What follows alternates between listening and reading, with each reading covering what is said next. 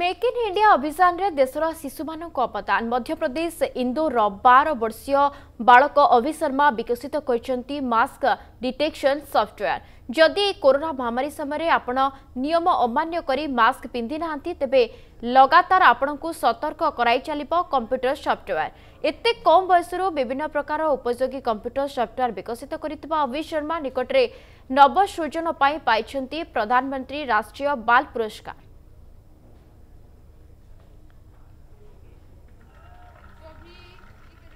मैंने अभी एक मास्क डिटेक्टर बनाया है, जो जब भी आप मास्क नहीं पहनेंगे, आपके लिए वह एक अलार्म बजा देगा और तब तक वह अलार्म बजाता रहेगा और रिकॉग्नाइज आपको करता रहेगा जब तक आप मास्क पहन नहीं लेते। और जब आप मास्क पहन लेते हैं तब भी वो आपको रिकॉग्नाइज करेगा और आपके लिए तालियाँ बजाएगा। सो so, यही इसका पूरा ऑपरेटिंग सिस्टम है। यह इसी प्रिंसिपल पर वर्क करता है। सो so, कहीं भी आप पब्लिक प्लेस पर रहेंगे so it can easily detect your mask किसी भी एंगल से वो आपका मास्क डिटेक्ट कर सकता है। एंड इवन अगर आपका मास्क नाक तक नहीं होगा तब तक वो आपको नो मास्क ही दिखाता रहेगा। और